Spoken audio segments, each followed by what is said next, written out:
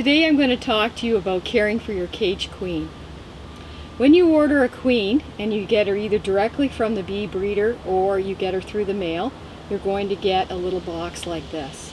And inside is a queen, and in our case we put five attendants in there. You can see it's a nice sturdy box, it's well ventilated, and at one end there's a plug, and underneath the plug there is uh, candy.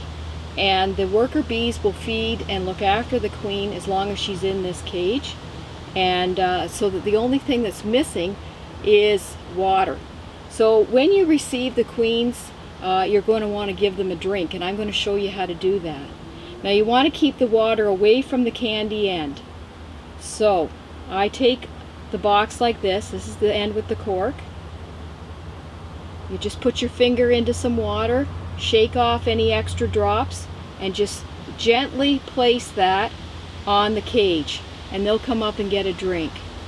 The thing that you don't want to do is get water and slide your finger along the screening because in that case if the queen happens to be hanging by her feet from the uh, mesh uh, you could you could actually shear off her tarsals. So after you give them each a drink, you're going to just set them aside. Make sure that they're they're well separated from each other so if they somehow did get knocked that they're not close enough to sting each other and kill each other. You're going to want to set them in a room, a dark room, uh, where there's no drafts, no pets, a quiet place at room temperature, and just leave them there until the next day. Once you have your queen on site, that's when you're going to want to go out and deal with your old queen, get your old queen out of the hive or make your splits. And once you do that, you're going to leave them for about 24 hours for the queen pheromone of the old queen to just dissipate and then you're going to take your queen, this queen, out the next day. So leave it about 24 hours. Now, before you install her, you're going to want to take the cork out, and I'm going to show you how to do that. This is the only way that the queen's going to be able to be released out of this cage. So it just comes out like that. And then underneath you can see that there is the uh, candy plug.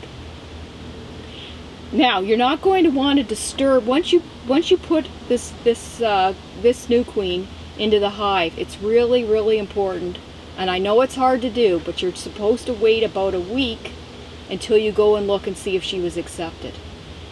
If you disturb a queen at this critical time uh, in the hive, uh, the workers can ball her and kill her. So it's best just to leave her alone for about a week. Now the, the actual uh, physical place where you're going to install this new queen and uh, exactly how you're going to do that can be seen in our other video that's called requeening. So I suggest that you go and watch that one also. I hope you've enjoyed this and thank you for watching.